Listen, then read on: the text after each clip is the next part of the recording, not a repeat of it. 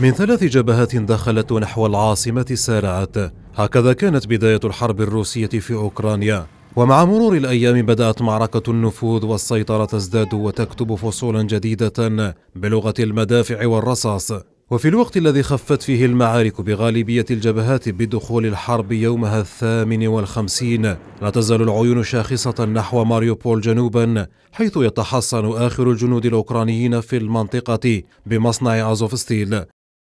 فحسب محللين فإن مستقبل الحرب في الجنوب الأوكراني رهين بمصير ماريوبول وعلى خلفية ذلك كشفت موسكو عن نيتها للسيطرة على ضفة بحر أزوف بعد إعلان الكريملين عن أهدافه في المرحلة القادمة من العملية العسكرية حيث يعتزم الجيش الروسي السيطرة على دونباس ليصل بذلك الإقليم بشبه جزيرة القرم المسيطرة عليها منذ 2014 الأمر الذي أثار حفيظة كييف وجعلها تصف موسكو بالإمبريالية.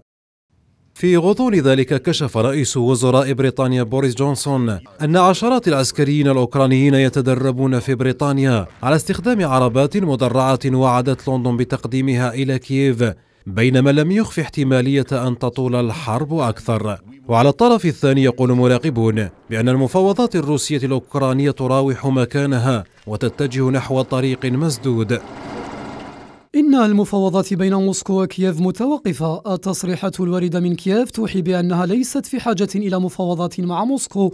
لقد قدمنا اقتراحا إلى المفاوضين الأوكرانيين منذ خمسة أيام وتمت صياغته مع الأخذ في الاعتبار تعليقاتهم.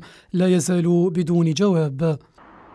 من جانبه قال الكريملين بأن الرئيس الروسي فلاديمير بوتين أبلغ رئيس المجلس الأوروبي شارل ميشيل أنه لن يجري محادثات مباشرة مع نظيره الأوكراني فلاديمير زيلينسكي إلا إذا أسفرت المناقشات الجارية بين البلدين عن نتائج ملموسة.